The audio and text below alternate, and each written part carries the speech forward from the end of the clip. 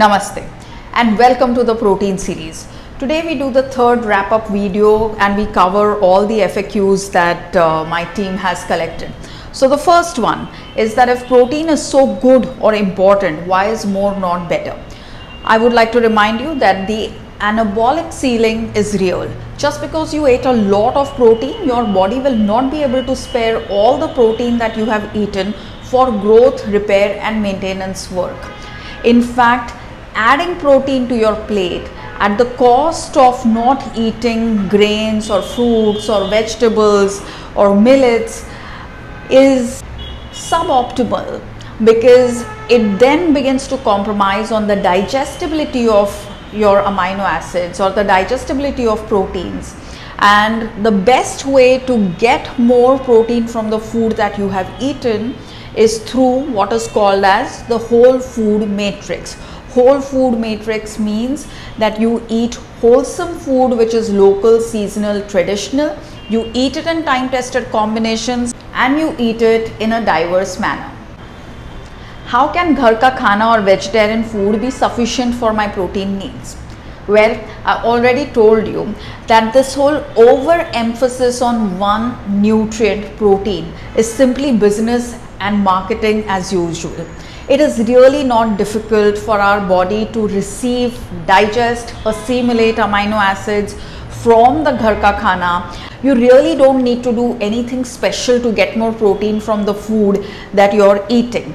But the marketing of the food industry makes you believe that if you don't keep adding protein sources and downloading viral videos on how to get 25 grams of protein per meal etc you're going to fall short on protein but that is really not the case the food industry has pitched high protein food today in the exact same position that they had pitched low fat food a decade ago this is simply good for profits, bad for people, worse for the planet.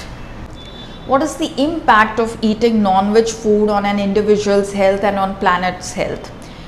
Well, India's cultural traditions already account for sustainability. We have tradition of eating meat, fish and egg as a part of our wholesome diet it is not at the cost of eating rice or chapatis or vegetables or fruits or nuts or seeds. So the practice of eating it in a manner which is well within our ecological means is a part of our cultural heritage. So we don't need to give up on eating non-veg. We need to give up on the greed for protein. Eat it in time tested manner and then whether you're veg or non-veg, you will more than be adequate on your protein requirements and your body will be able to have the protein sparing effect. Do our protein requirements change as we age? Well, the answer is yes. And the ones who need protein the most are the young and adolescents, children at growing age, and of course, Again, the seniors, people above the age of 60, these are the two age groups where meeting protein requirements becomes very, very critical. When it comes to children, make sure that they have adequate access to nutritious food through diverse sources. That is really the key in ensuring that they meet their protein requirements. And with that, put a complete end or at least strictly regulate the ultra processed food products that they eat whether it is cola whether it is chips whether it is chocolates whether it is caffeinated energy drinks all of this needs to be removed from their plate so that they have adequate access to amino acids and every single nutrient from the food that they're eating at home.